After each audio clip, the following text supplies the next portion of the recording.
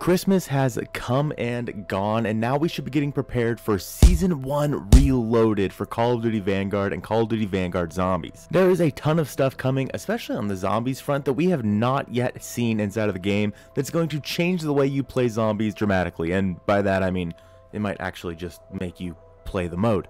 As you can see here, we have about 36 and a half days left in the season at the time of recording this, meaning that Season 2 should start right around the beginning of February. Now, as of this very moment, I'm pretty sure that Call of Duty, Activision, and all of their employees are on holiday through the end of the year. I really don't think they're going to be back before like December 2nd, December 3rd, probably, which I believe is a Monday. That'll probably be their first day back in the office, and that'll probably also be the first time we start to see teasers for the brand new Season 1 Reloaded. Now as for what's going to be coming in Season 1 Reloaded, let's take a quick look. So here we have the Season 1 roadmap for Call of Duty Vanguard, and we've already gotten a lot of this stuff. Caldera and all of the Warzone stuff has already happened, Festive Fervor has already happened, Ricochet, all of these new operators. We also received the Cooper Carbine, the Sawtooth, the Katana, these new multiplayer maps, and a lot of the top row of the zombie stuff. But if we go to the bottom row of the Call of Duty Vanguard Zombies update, it says Tome of Rituals,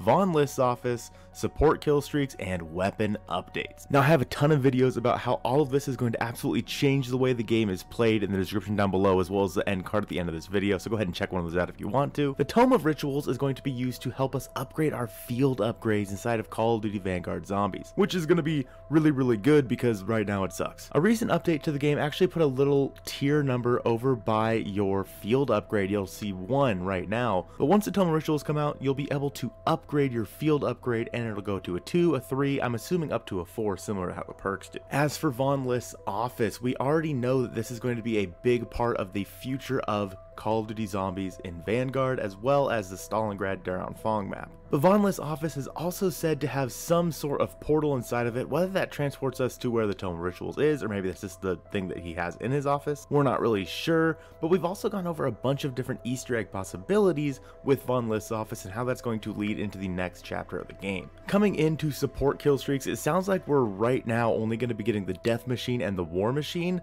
There might be something else sprinkled in there, but the Death Machine and the War Machine sound like the main things we're going to be getting into the game. I'm honestly super interested to try those out against something like the Sturmkrieger and just see how far we can get with them. And then we have the weapon updates, and this is the one I'm the most excited about because I'm assuming this is going to be when they add the kits, the proficiencies, as, as well as the magazine types and the ammo types. I also think that they're going to use this update to kind of change the way some of the different attachments in the game work and show us maybe instead of being able to see enemies nameplates in zombies which don't matter, we'll maybe be able to pick up more salvage. The one weapon we have yet to see is the Welgun, and it is described as a prototype developed by Captain Butcher's SOE. The Welgun finds its way into Vanguard's arsenal despite being produced in limited quantities. Similar to the Sten with default ammo and chambers, the Welgun is extremely compact and has relatively decent balance thanks to built-in grips. So at first I thought the Welgun was going to be some sort of LMG, but it looks like it's actually going to be an SMG for the mode inside of Call of Duty and Call of Duty Vanguard as a whole. Now as for how the Tome of Rituals is going to be changing the way we play Call of Duty Vanguard Zombies, go ahead and click on this video right here. I hope you have a great rest of your day, and I'll see you soon. I want to give a big shout out to all the channel members over on the channel, and an extra special shout out to all of the Zombie Richtofen members, starting off with hashtag Best Mod, Strict Archer, my guy Ben the Bulldozer, and the man, the myth, the legend, Tiz Brandon, ZR.